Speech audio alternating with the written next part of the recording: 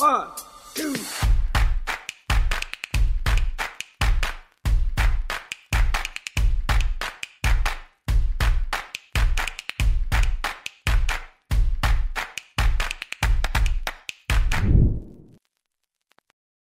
Welcome to a brand new show from Magna Talks in partnership bersama Tomorrow dari UOB um, dengan judul Talks Tomorrow, where I, E.S. Lawrence, is your host of the day um, to host a roundtable discussion bersama figur-figur favorit kalian um, to talk about one specific topic.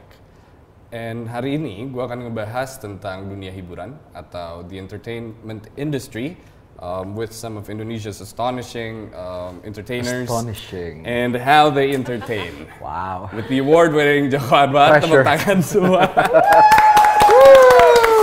Uh, dari Janji Joni hingga Perempuan Tanah Jahanam, betul? Betul. Um, dan juga amazing actress and very smart figure Cinta Laura Kio. Oh, thank Give you. applause. dan Iga Masardi. Yeah. Iga Masardi teman baik saya dan juga uh, dari band Bara Suara dan solois juga ya.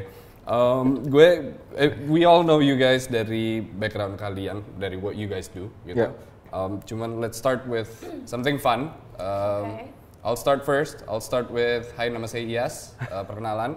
saya adalah host dari Makna Talks, tapi orang mungkin kenal saya sebagai orang yang dipanggil sayang oleh Dian Sastro di salah satu wawancara. Oh ya? Wow. Achievement ya buat itu ya? achievement. Itu kalau di CV paling atas. itu, itu, itu. Kalau gue apply gue itu. Kelepasan atau gimana dia? Eh, dia lebih ke manggil anak sih. Saya. Oh. Gitu. Jadi lebih ke eh bodoh gitu. gitu. Joko Anwar, you wanna go next? Halo, eh, saya Joko Anwar. Saya adalah seorang penulis dan sutradara film Indonesia. Ya. Eh, tidak pernah dipanggil oleh Dian Sastro, obviously. Eh, sudah kerja di film sejak 2003 sampai sekarang dan eh, here I am. Sudah bikin 8 film panjang. Wow. Impressive. Cinta? Wah, you put me on the spot. Gara-gara IAS, aku jadi terinspirasi mau bilang apa. Tadinya aku punya deskripsi lain. Tapi, Oke. Hai, I'm Cinta Laura Kiel. Aku adalah aktris, penyanyi, dan juga social activist. Aku udah di dunia entertainment sejak umur 12 tahun. So it's been a while, so it's been 14 years. Dan mungkin aku ngikutin uh, IAS ya. Sesuatu yang memorable adalah Jeremy Renner pernah bilang ke aku bahwa pertanyaan yang aku berikan ke dia adalah salah satu pertanyaan yang paling berbobot. Wow. Iya, so that made me very happy karena dia berhentiin aku dan ngeliat aku directly in my eyes dan dia bilang, I really appreciate your questions, one of the best Wow. questions I've ever had. Wow. Wow. oh, thank you, Itu kamu Jeremy." dalam dalam rangka apa interview? 2015 uh, Clubhouse itu bukan? Avengers. Oh, Iya, bukan Avengers. Clubhouse. Oh. Jadi Avengers satu film Avengers baru keluar dan aku menjadi represent ah, representatif Indonesia untuk menginterview castnya The Avengers. Oh, Oke. Amazing. Iya. Wow. Oh, kira. Dia panggil sayang ke Cinta Laura. Jeremy Renner Hasibuan. Tapi kalau kalau itu dia niat berarti ngomong kayak bukan ke gue. Iga, you wanna go? Ya, gue Iga Masardi, gue seorang musisi, gue band sama bara suara, dan berbagai macam produk musik lainnya. Produk gue juga orang. Bekasi sama kayak Iyas, tapi gue mengakuinya dengan bangga. Ini uh, kesamaan, I guess, dari ketiga adalah uh, di dunia entertainment. Ada Bang Joko di film, uh, Iga di musik, cinta musik dan film gitu. Um, but you know, bedanya apa sih? Apakah segmennya? Apakah the way you present it? Apakah cara menghiburnya? What do you guys think? Antara dua Antara kalian itu. bertiga. Kita semua. Wow. Aku di, aku di depan layar ya. Iya.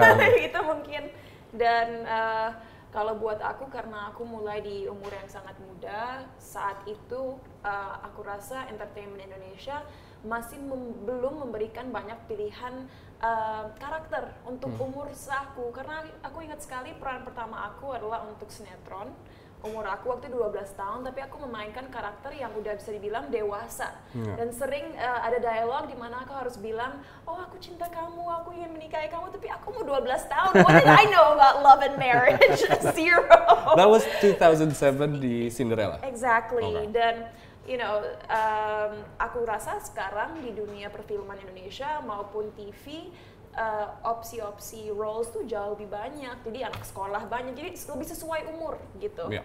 dan aku senang lagi lebih senang lagi kalau di dunia perfilman banyak sekali uh, film-film yang ya jalan ceritanya tambah kompleks secara sinematografi juga wah menurut aku Indonesia nggak kalah sama film-film luar dan banyak sekali film-film kita yang masuk festival dan menang so I mean Indonesia's just killing it and getting better and better so Yeah. I'm happy so. about that Ya, setuju.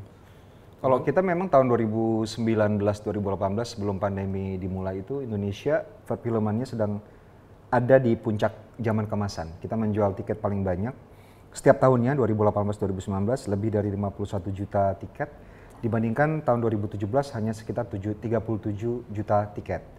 Em, berarti orang Indonesia sudah menganggap film Indonesia sesuatu yang mereka sukai, kita punya dapat trust dari penonton. Eh, sayangnya kita pandemi kemarin eh, berhenti, tapi gue percaya karena kita berhenti di kala kita sedang disayang sayangnya oleh penonton, nanti ketika kita make a comeback, it's going to be a lot easier. Iya. Ya. Relate dengan itu juga dong. Ya. Sebagai musisi. Iya sih, dan kalau musik tuh emang apa ya, itu salah satu profesi yang lu membutuhkan penonton secara langsung. Dan itu yang jadi sebuah apa ya, sebuah jalan buntu sekarang gitu. Cuman ternyata akhirnya kita nemuin adaptasi untuk bisa ngasih bentuk-bentuk hiburan yang bisa dibawa ke rumah di depan layar. Maksud gue ya konser virtual dan lain-lain. Sementara ini adalah sebuah bentuk yang paling uh, bisa muterin roda bisnis dari apa namanya dari dunianya, dari sisi tim produksinya, dari Ya. sisi musisinya. Karena sebenarnya ketika kita ngomongin musik di kala pandemi nih misalkan, let's say orang kadang-kadang cuman fokus terhadap musisinya doang. Padahal yang kena yang kena apa namanya kena pukulan beratnya itu justru uh, tim produksinya. Musisi yang ketika dia punya followers, ketika dia bisa menjadi influencer dan mereka bisa hidup dari situ. Cuman kemudian bagaimana nasibnya dengan stage manager, dengan crew production, itu kan mereka nggak bisa mendapatkan itu kadang-kadang. Iya. Dan itu yang yang sebenarnya kita masih cari cara formula untuk bisa adaptasi dengan keadaan yang jangka pendek perubahan jangka pendeknya tuh kenceng banget gitu. Kita udah nggak bisa lagi bikin planning let's say tiga bulan ke depan atau even enam bulan ke depan gitu apalagi. Jadi emang apa yang kita bikin sekarang adalah bentuk-bentuk adaptasi jangka pendek untuk muterin roda roda industrinya supaya bisa terus-terusan nih karena kalau Iya. kita berpaku sama kita mau bikin apa planning 1 2 3 bulan bulan depan tiba-tiba bisa ada kebijakan-kebijakan apa lagi kita nggak tahu. Iya betul itu. Berarti bisa berarti bisa kita bilang lo adalah entertainer yang membutuhkan orang secara live. Karena meskipun lo sekarang beradaptasi dengan adanya depan layar, it's totally different. Yep. The way you entertain, whatnot Yep. gitu ya kan. Lo, lo adalah seorang entertainer on cam. You know, you gotta be a different person, I guess, because you know have that, you have that uh, apa namanya, not a different character. Sedangkan abang tuh you're you're an enter- entertainer behind the camera. Yeah. You, and before the show goes on gitu. Ya. Um, tadi Bang Joko menarik bilang bahwa 2018-2019 adalah the peak of the Indonesian industry, cinema, ya. Indo- Indonesian cinema. Ya. Is that the golden era? Golden Era. Jadi kita sepanjang sejarah eh, punya eh, prestasi bukan hanya menjual tiket tapi seperti kata Cinta tadi bahwa film Indonesia mendapat recognition yang sangat luar biasa di luar negeri baik di sirkuit festival ataupun komersial rilis. Jadi film kita masuk festival yang bergengsi, banyak juga yang menang dan dapat spotlight banyak sekali film Indonesia dan kita sudah bisa menembus pasar komersial. Iya. Jadi zaman dulu kita bisa masuk festival, oke, tapi bisa nggak menembus pasar komersial di sana, tayang di bioskop di luar negeri, tapi sekarang sudah bisa. Jadi Enggak. sekarang tuh bahkan sampai sekarang ya di kala pandemi itu banyak sekali audiens dari luar kepingin lebih banyak tahu tentang film Indonesia karena beberapa film Indonesia berhasil um, mendapatkan interest dari uh, uh, international nggak hanya audience. film-filmnya tapi direkturnya juga Oh, iya. kayak Mas Joko Anwar udah di-eyeing oleh filmmakers di luar negeri they want you to direct their movie Penasaran lihat penasaran lihat inbox emailnya tau gak? Iya, Itu dia, itu dia. iya, iya. Tawarannya ada gak sih yang di decline gitu? Ada ya? Ada. just being humble ada aku inget cerita What's your What's your golden era? Era golden era mungkin musik, Musik. Musik. atau bara suara sendiri? Um, gue bisa bilang di 2016 sampai 2017.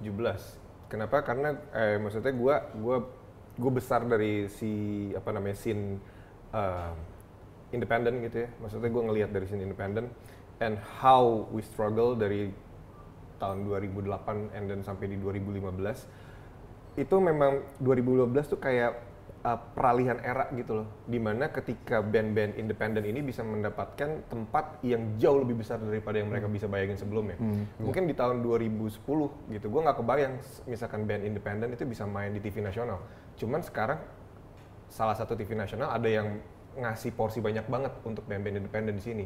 Even um, band-band yang tadinya so called the mainstream malah porsinya justru berkurang gitu. Dan ini ketika gue bilang kenapa kenapa kenapa ini jadi golden era, kenapa? Um, ini momen di mana lo bisa nunjukin seaneh-anehnya diri lo, and then lo bisa uh, ngambil revenue dari sini. Maksud gue kalau dulu mungkin kita berpikir gue mau bikin apa yang gue apa yang gue percaya aja, and then uangnya segala macem I don't give a shit mungkin karena people nggak mau spend begitu banyak juga cuman sekarang gue bisa ngelihat justru karakteristik yang kuat yang makin mengkerucut dengan dengan apa namanya dengan pola-pola yang mengelilingi musiknya gitu maksud gue sekarang orang nggak bikin musik cuman lagunya doang tapi ada cerita-cerita di sekitar itu yang akhirnya bisa memperkuat message-nya Oh, that's true. 2010 katanya kita masih bisa punya persepsi Patokan, terhadap musik patokan mainstream itu yang kayak gimana sih? Ya mungkin kita bisa lihat di TV dengan band-band yang kita udah kenal dulu sebelumnya gitu, misal Shallow Seven, Padi Dewa, and those uh, those legendary bands gitu. Cuman sekarang kayak wah Enggak. musik mainstream gitu, Pamungkas is like top of the game gitu, Hindia juga, and then Nadine Amizan dan Dan karena me- media sosial presence-nya, menurut lo? itu juga mempengaruhi, tapi itu nggak akan bisa dimakan orang ketika musiknya nggak membicarakan apa-apa. Setuju. Dan you know, speaking of positive messages, you know, selain untuk nge-bridge musik dan juga film, aku rasa setiap fase dalam hidup kita mempunyai high note. Mungkin waktu aku pertama masuk dunia entertainment sebagai ya selain masih anak-anak yang hanya aku bisa lakuin adalah ya nyanyi dan acting, tapi dengan adanya social media, dengan digital semakin menjadi bagian besar hidup kita, aku ngerasa 2020 2021 ini bisa jadi high note buat banyak dari kita. Kenapa? Karena sebagai creator, sebagai um, you know filmmaker, sebagai musician, kita juga mempunyai platform baru sekarang untuk menyebarkan pesan-pesan pesan-pesan Positif. positif lewat karya kita. Iya. For me, yes, I'm an actress, I'm a singer, tapi aku sadar bahwa setelah 14 tahun berkarya, it's no longer about me. You know, it's Yeah. my career is no longer for me to get financial gain atau untuk menjadi lebih terkenal. Misi aku sekarang adalah bagaimana dengan platform aku yang besar, aku bisa mempengaruhi orang secara positif dan membantu mereka uh, membangun cara berpikir mereka. Kalau bisa juga merubah paradigma mereka uh, ke arah yang lebih baik lagi. Yeah, Gitu. yeah. Dan, dan gue rasa cinta because because you you grew up in many places and Mm-hmm. you know you, there was UAE, there was Saudi, there was Malaysia, Singapore, Germany. Germany, and Yeah. then the States. You know, Yeah. I guess with that you know you got a lot of references and you knew what to do when, as as soon. Yeah. as you know you're here Yeah. and you're using that platform as an enter- entertainer awalnya, but now you know you're going behind the scene to let Yeah. people know what's going on gitu. Dan I think that's a that's a fascinating phase gitu karena tapi lo tetap meraya, eh, merasakan golden era yang tadi disebut. Uh, waktu di Golden Era yang tadi disebut, aku sebenarnya masih di US. Ya. Aku pindah ke Indonesia uh, bulan Juli tahun 2019. Tapi walaupun aku di luar negeri, aku mengamati semua yang terjadi di sini. Dan um, yang pasti sangat bangga ya melihat itu semua. Dan walaupun sekarang era pandemi, aku harap setelah semuanya membaik, aku bisa ikut berkontribusi. Because I would love to play my part in Yeah, helping finally in our the- industry move uh, forward and do even better. Yeah, yeah. Udah banyak sekali orang-orang yang melakukan itu, but you know, there's nothing wrong with having an extra person who wants to contribute. Iya. That's true. Yeah, exactly. Kalau kalau- kalau ngomongin pandemi dan sulitnya gitu, you came back and then suddenly there's this pandemic gitu. Saya rasa ketika 2018 atau 2019 yang tadi disebut itu karena lagi seneng-senengnya ini lagi bagus-bagusnya, udah ada tabungan untuk dikeluarin untuk you know your your your skills, your ideas gitu, tabungan secara mental gitu. Ap- What was what was the saving? What was tabungan seperti apa yang mau disampaikan waktu itu? Karya seperti apa yang tiba-tiba kehalang gitu? Gue tahu lo ada ya kan, Eh, karena tiba-tiba lo shift ke jadi soloist gitu. Bang, Kalau dari eh, gua ada beberapa project yang memang dikerjakan ketika eh, pandemi dimulai tahun 2020 ya. Eh, dan project itu sampai sekarang masih berlangsung karena beberapa kali tertunda karena ada PSBB, ada apalagi singkatannya gue nggak tahu. Berhenti terus nanti sambung lagi sambung lagi gitu. Jadi beberapa project film. Uh, tapi sekarang gue mencoba untuk seperti kata cinta tadi bahwa kita sebagai orang di industri yang kita memiliki uh, uh, influence yang besar gitu. Kalau zaman dulu yang namanya CSR cuman dilakukan oleh company oleh corporate. That's why they call it CSR zaman sekarang tuh ada yang namanya CSR juga tapi uh, orang yang secara personal gitu individu-individu yang memiliki influence yang besar. Seperti Iga Cinta dan uh, kita semua. Karena uh, kalau misalnya kita mau uh, bahkan ya kalau kita mau industri kita berjalan dengan lebih baik kita bisa berkarya dengan lebih baik kita butuh a better society gitu. Kalau ada banyak sekali disruption in the society kita akan susah tuh susah berkarya dalam karya juga ada bisnis bisnis juga nggak bakal jalan. Jadi uh, a kita uh, punya social responsibility untuk uh, menyebarkan uh, apa yang positif ke our followers untuk membuat a better society. Nanti in return juga kita akan dapat uh, ekosistem yang lebih baik untuk kita berkarya dan bekerja. Jadi for not just for us but our for ecosystem and for our society it's going to be a better place to do everything Before I forget, something else that I've noticed kalau dibanding dengan awal aku dan sekarang, um, banyak sekali uh, filmmakers dan music makers lebih berani untuk mengkritik society lewat karya-karya mereka dan aku merasa Yeah. juga konsumer musik, konsumer film juga lebih mengapresiasi itu. You know, karena finally ada seorang yang menunjukkan uh, kebenaran Yeah. di balik kebohongan yang kita lihat di sekitar kita. sama know. satu lagi yang bisa kita lakukan juga uh, that's very important to menyuarakan apa yang uh, tidak bisa disuarakan oleh orang banyak lewat influence kita satu hal lagi yang bisa gue lakukan sekarang adalah uh, sharing my uh, knowledge about what I'm doing di film sebagai sutradara penulis skenario uh, dan pelaku industri in general makanya gue juga mengadakan workshop uh, sharing script writing uh, courses to people secara gratis supaya nanti uh, akan membantu ekosistem perfilman yang memang miskin sekali sumber daya manusia terutama di script writing gitu. Iya, saya rasa bisa menjadi sebuah tabungan untuk mereka berkarya ke depannya gitu. Um, ada mau tambahan nggak? Em, buat gue sih sekarang tuh pak yang yang paling penting adalah relevansi dari message yang mau kita kasih sebetulnya. Jadi em, ketika kita bikin film, ketika kita bikin musik, kalau film gue nggak bisa ngomong banyak kan ada Mas Joko gitu. Mas Joko juga baru kan di film. Baru, baru banget ya. Pendatang baru ya. Baru dua hari dia. Iya. Karyanya masih oke lah. Orang belum tahu. Fresh. Kalau Gitu, kalau kalau kalau gue ngelihat dari apa yang tadi sampai nama cinta juga, kayak gimana sih sebenarnya uh, semua ini shifting gitu secara secara konten, secara secara message. Jadi kalau kita dulu di 2000 2000-an awal gitu, kita ngomongin message-message yang sangat general, jatuh cinta, kangen, selingkuh, and that, that's it. Iya, gitu. iya. Sekarang sekarang orang udah nggak mau makan itu, kayak lu bullshit, lu mau ngomong apa sih? Gitu. Iya, iya, iya, iya. Dan kayak gue butuh message yang lu seclear mungkin mau ngomong apa dan sespesifik mungkin. Makanya sekarang uh, sebuah kemajuan di apa ya di sebuah peradaban Indonesia menurut gue ketika musik dengan tema mental health misalkan itu bisa di brought up dan ternyata orang banyak yang makan. Ternyata ini bukan soal strategi doang, tapi soal relevansi dari apa yang mau disampaikan lewat musiknya. Sespesifik spesifik itu orang ngomongnya bisa anxiety and dan bisa depression. Iya. Dan ini menjadi sebuah apa ya? Sebuah kemajuan pola pikir pendengar dan pola pikir musisinya. Jadi ini ini pun terjadi gue percaya di film gitu ya. Bagaimana orang memakan udah capek sama hal-hal yang sifatnya general gitu. Tapi kenapa baru sekarang nggak? Nah itu dia gue nggak pernah tahu exactly triggernya apa. Tapi setelah di 2015 gue ngerasa orang mulai bisa menerima sesuatu yang sifatnya aneh.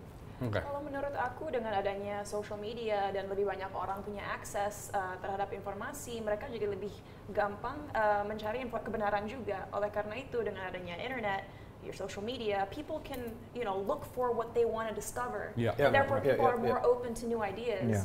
And I think a similarity that we all have, kalau misalnya Mas Joko shed light on the truth uh, through his uh, film, and Iga does it through his music. Kalau aku dengan ya Your YouTube platform, platform, aku itu. kan. In, in, in, a, in a place where you've got the spotlight, where you know what you're gonna say, but you still gotta be that Cinta Laura that everybody knows that she's an entertainer, or you forget that part. When I'm trying to spread Yeah. my message.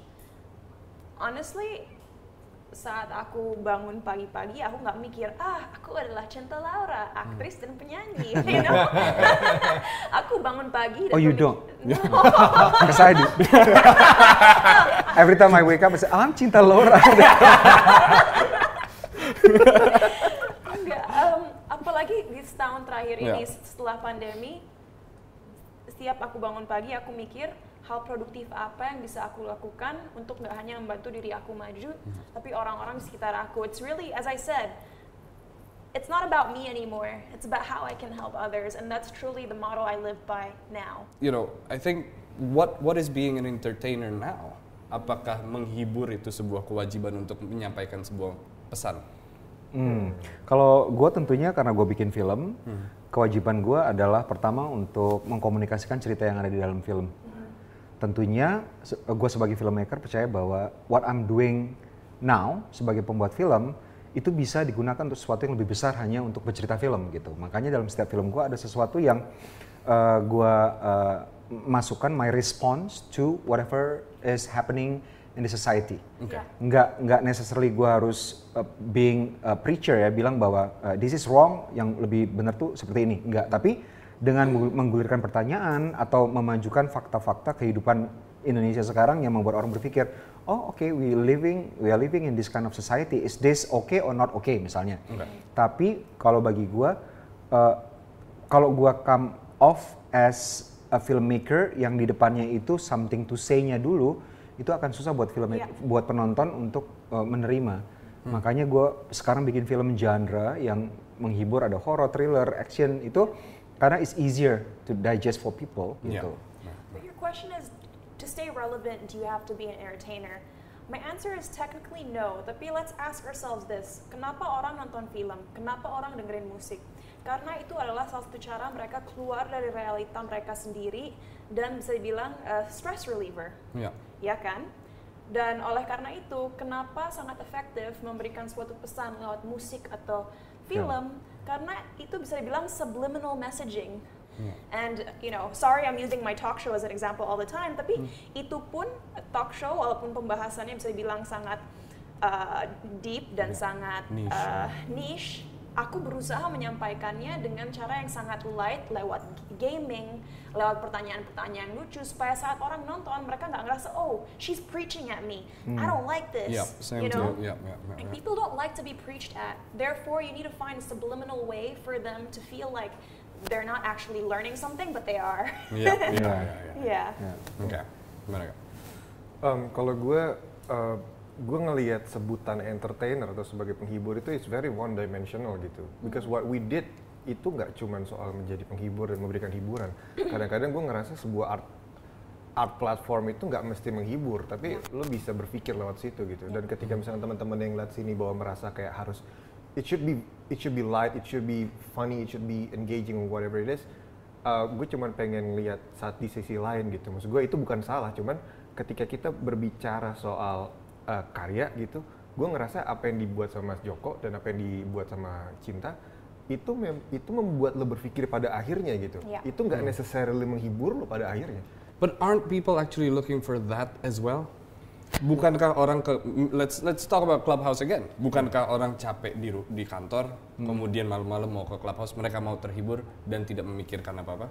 ini sebenarnya buat gue prosesnya kayak lu nipu orang Oke. Like what you did and what you did Nanti You abis trick- ini orang nggak mau nonton film kita dengan musik ditipu nih kita. Iya, nih. iya, ditipu nih, ini mau ngapain nih membawa kita ke mana. Cuman, but, Iya. maksud gue gini, kayak lo kalau mau, mau mancing, lo pakai umpan yang paling enak buat ikannya. Yaitu hiburan. Itu hiburan ya. Oke. Cuman apa yang setelah itu lo lakuin terhadap ikannya itu kan udah proses lain gitu. Yeah, I, I think being an entertainer is like technology. You know, there's something new every minute, every hour gitu. But yang membedakan adalah what's the message? What are you guys gonna do having that title? Gue nggak terlalu suka sih disebut entertainer. Maksudnya kayak Pesepeda oke lah ya.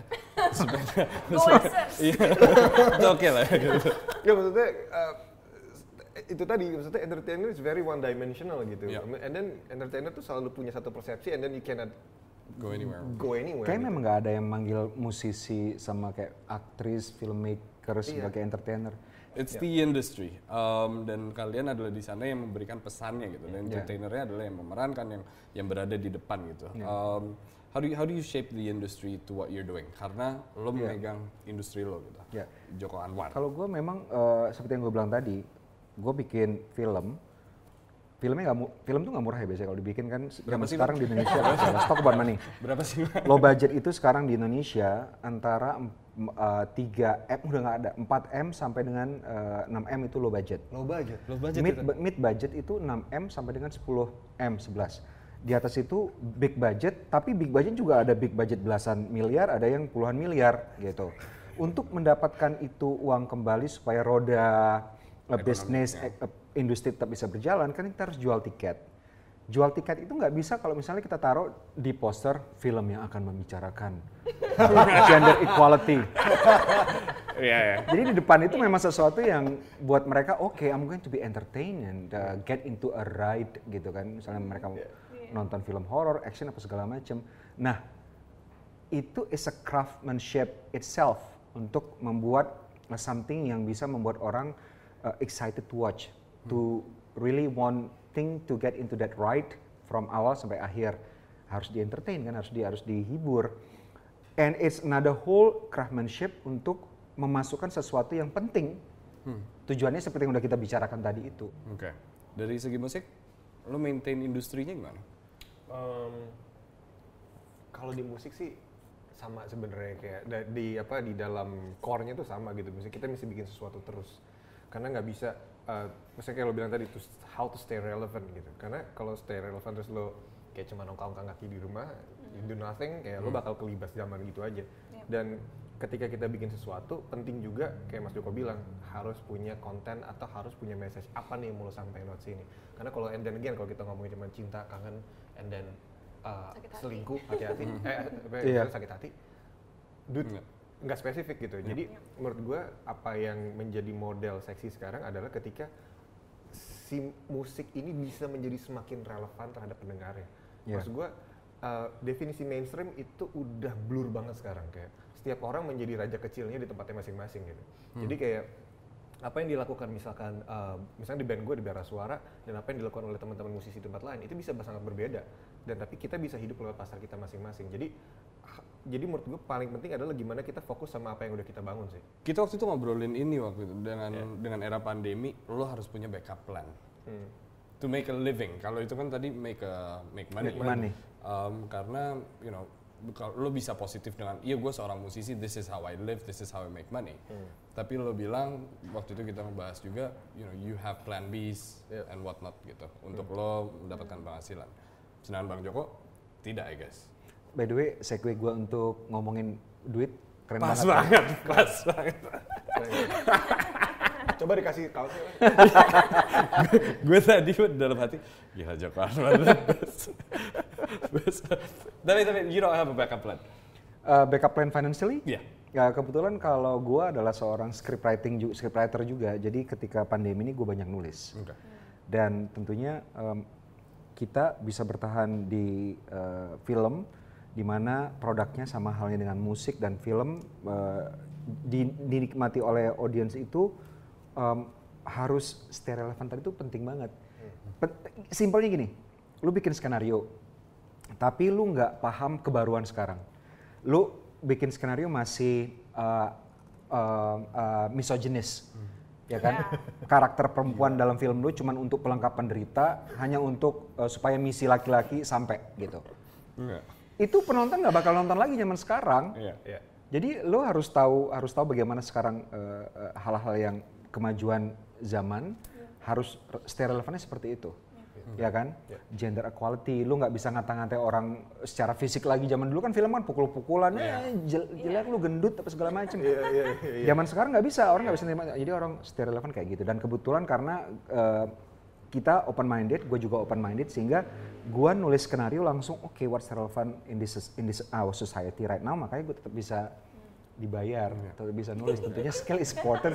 Skill is very important, tapi stay, stay relevan itu penting banget.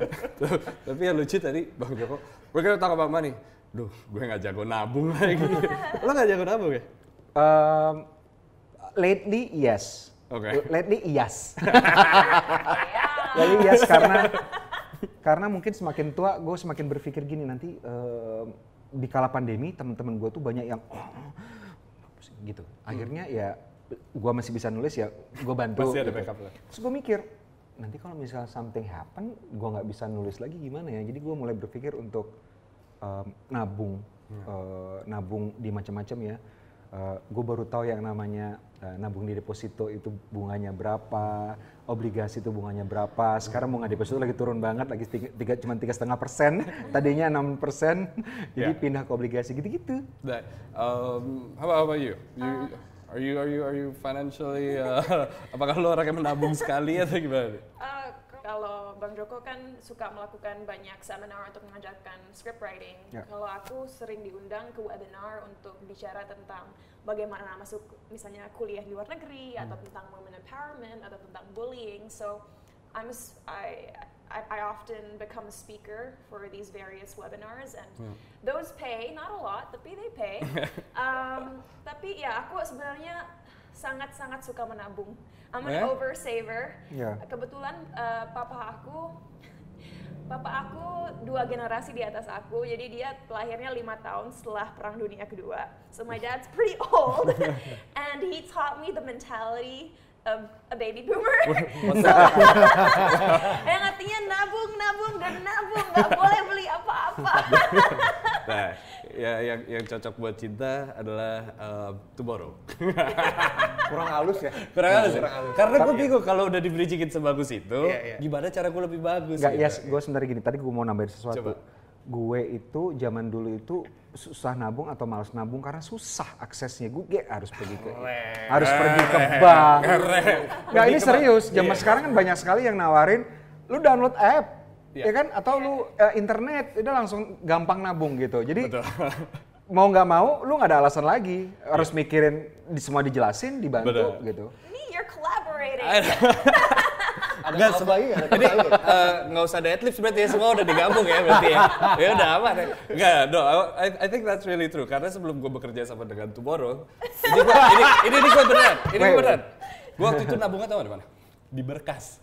Mah What? berkas maksudnya? Gue juga di rumah di kamar tuh ada Folder berkas. oh ber, Iya, a safe. a safe I, I used to put deposit my pin. safe. Berangkas Ber eh, ber- berangkas, sorry. Gue taruh di berangkas. Berangkas. gua berangkas? Berangkas. Gue taruh di berangkas. bule nggak tahu berangkas. Sorry, sorry. Gue sama dari Jerman.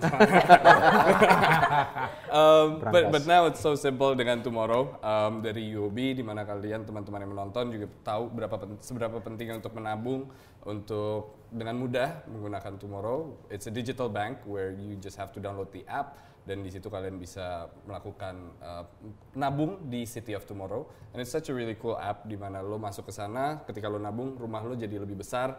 It's like uh, Sims, main The Sims. Oh, ada itunya. Jadi ada grafiknya. It's so it's so fun and it, it tells us how important it is dan juga ada digital saver. Di mana it tells you, for example, Cinta, you've been spending too much on your useless coffee. You gotta, you. I'll Kita input, kita we input Jadi lo input di sini. Oh. Jadi lo input di sini. No, no. I'll- that's I- I- nice. you know, know what I just said? I'm gonna What? stop buying coffee here. No, no, please not. Please not. Uh, you don't spend enough money on coffee. That's what it means. Oh, okay, okay, okay. but but that's how simple it is. Um, jadi itu adalah dari Tomorrow dari UOB. Was that good? Was that good? Ya, oke lah. Oke lah ya, oke lah ya. Oke lah. Um, Bisa, bisa. but let's let's go Gue back. tahu kenapa lo gagal casting. Bagusan gue tadi kan lebih bagus, smooth. bagus, bagus, bagus. Ada yang lebih smooth lagi ketika Joko Anwar mengulang iklan radio. Coba kasih lihat dong, kasih lihat. Jangan dong. Jadi di salah satu episode kita, Joko Anwar nge- mereka ulang sebuah iklan. Iklan radio. Tahun berapa itu waktu ya? Kita. Enggak, enggak, enggak. Iklan. Iklan radionya eh, ketika gue umur 8 tahun 9 tahun, tahun 80-an. Oh, I was gonna 10 tahun yang lalu. oh, okay. Sejak belasan tahun orang begitu yakin dengan keampuhan Bodrex. Apa rahasianya? Mari kita tanyakan pada salah satu tenaga ahli di pabrik Bodrex ini. Bagaimana? Begini, Bodrex memang ampuh. Tepuk tangan dong. Makanya gue kepingin jadi iya sebenarnya. Dia ngomong cuap-cuap dapat duit. iya ya. Uh, I, I want to ask that. Is it is it such a good thing to be in that industry? Di dunia entertainment? Is it as beautiful as people say? Your fame, your your easily access to talk about it. What is it? Cinta, you go first. Uh, it's an amazing Langsung kecil. Gue kayak kok bisa? Coba dielus-elus siapa tahu berdiri. Lepas. Oke. Tadi gue uh, muncrat soalnya. Masih ada isinya. ada ya, isinya. Masih ada I isinya. know. Kalau dibilang apakah ini industri yang indah? Selama ini adalah industri yang benar-benar kita passionate about, Yeah. of course. Yeah. I'm so passionate about this industry that if you ask me, is it amazing? Absolutely, I love it. Tapi bukan berarti gampang, enggak sama sekali. Malahan tadi ah, kita baru ngobrol di dalam ya. Yeah. Um, salah satu trauma terbesar dalam hidup aku uh, datangnya dari industri entertainment Yeah. karena uh, you know dengan nama yang aku bangun, dengan karir yang aku punya, yang pasti ada backlash negatifnya juga dan sempat mengganggu emosi dan mental aku selama beberapa tahun. Yeah. And you know, I'm not going to talk about it on, this No. in this episode. Maybe you'll invite me next time. But you know, it was like a major form of bullying, Yeah. at least in my eyes. Dan itu benar-benar, you know, butuh waktu bisa dibilang hampir 10 tahun untuk aku bisa menerima dan memaafkan apa yang terjadi. I used all my frustration, my sadness, my anger and channeled it into my craft and Wow. building myself to be better. I guess that deserves an applause, right? Ya. Terus eh, ngomong-ngomong soal eh, kerja di entertainment sebenarnya gini kalau misalnya mau fair, we we got it easy karena tentunya kita tidak bekerja of course we work very very hard tapi dibandingkan dengan orang-orang yang harus bekerja kayak eh, di kantor di 9 to 5 eh, menghadapi all those traffic apa segala macam sama orang yang mungkin kerjanya setiap hari physical terus memang kita lebih lebih gampang lah gitu. Jadi um, tentunya ada kayak responsibility yang lebih dari kita untuk you know using our platform untuk menyebarkan positivity.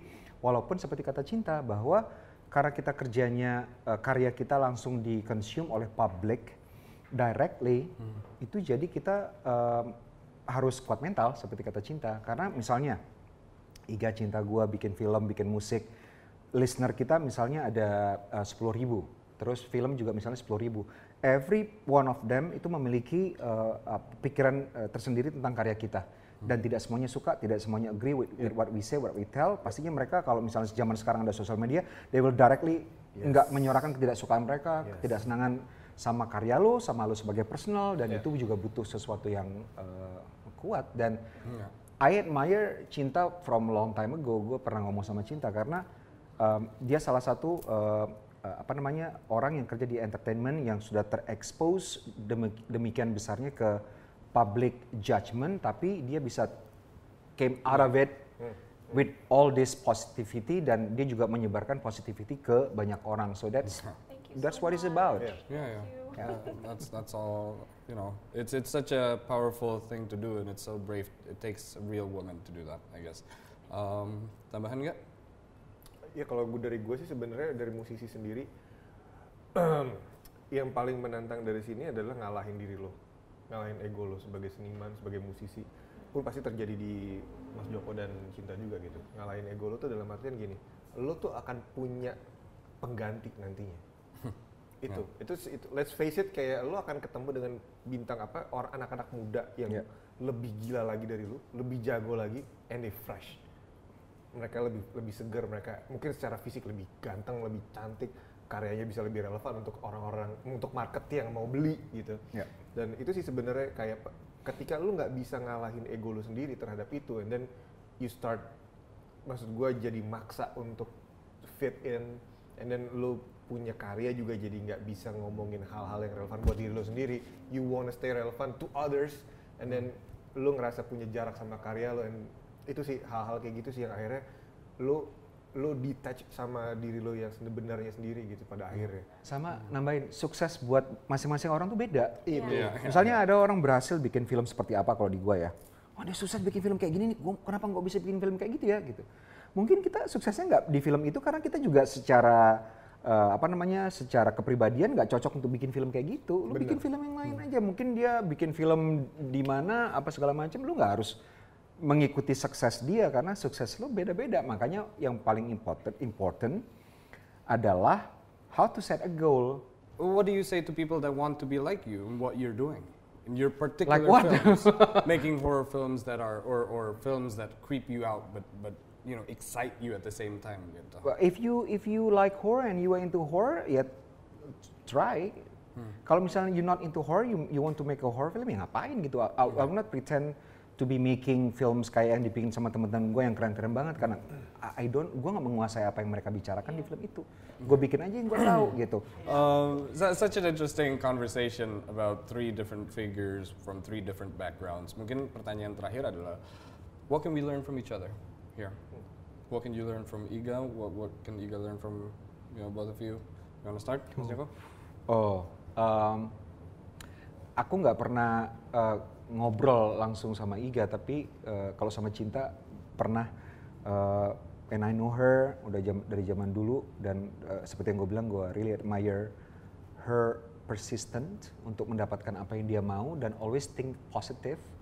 Um, gue merasa uh, seperti yang gue bilang cinta itu melalui mungkin dari kita bertiga yang melalui banyak sekali uh, apa namanya challenge ya uh, cobaan itu ya cinta gitu. Karena dari kecil sudah terekspos ketika dia belum bisa memberikan consent to everything that she's doing dia sudah terekspos to uh, the, the judgment of society. That- that's hard man. Yeah, yeah, yeah. Iga, gue sekarang eh, sangat-sangat eh, eh, admire bahwa dia sebagai seorang musisi, dia cuman bukan cuman menguasai craftsmanship sebagai musisi karena gue sudah dengar karya dia, tapi whatever behind that kreatif prosesnya juga sekarang ternyata oh that's that's eh, cara berpikirnya sangat sangat eh, baik eh, dan dia mengikuti eh, eh, ekosistem dari musik.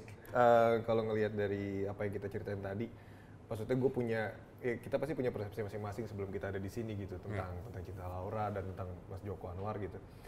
Em, satu hal yang bisa gue petik dari meja ini sih ternyata kita punya apa ya punya kesamaan gitu loh. Maksud gue gue gue ngerasain, ya ternyata emang sebagai seniman lo harus contribute dan lu punya punya apa ya punya jejak kontribusi itu gitu maksud gue lu lu lu melewati banyak challenge yang tadi Mas Joko bilang and then outcome lu ternyata bisa menjadi suatu su- su- apa ya lu punya tanah gersang and then lu bisa bikin pohon dari situ dengan buah yang baik untuk banyak orang gitu. Ini baru pertama kali aku ketemu Mas Iga, tapi yang bikin aku sangat terinspirasi adalah pembicaraan tadi. Sebagai musisi nggak takut untuk em, memberikan message yang nggak mainstream. Karena banyak sekali orang-orang dalam bidang musik yang kadang-kadang saking ingin suksesnya, saking, saking ingin membuat hits ya yang mereka ceritakan em, pesan-pesan yang bisa dibilang sangat mundane, sangat surface Mundane, yes. level Mundane. dan That's the word. you know sangat simple.